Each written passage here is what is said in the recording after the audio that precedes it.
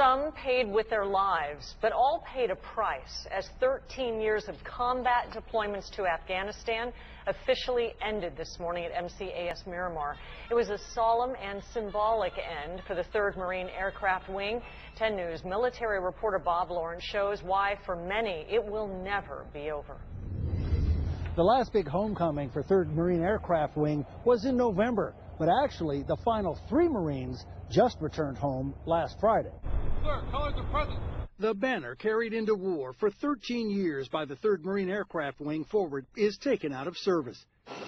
13 years of combat missions, 13 years of working in the grit and sand, and the sacrifices made. Families had seen their loved ones wearing this cloth go off and in some instances not come home.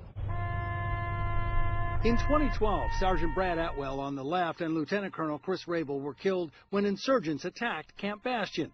Two other 3rd MAW Marines died when their CH-53 went down in 2002. We're mindful this morning of those who paid the ultimate sacrifice. And mindful that for many who attended the ceremony, it never feels like it's over. We're always training for the next thing. Staff Sergeant Timothy Canella, who deployed twice. As if to emphasize that point, jets were in constant flight during the ceremony, with most who attended it not even in the Marine Corps when the war started.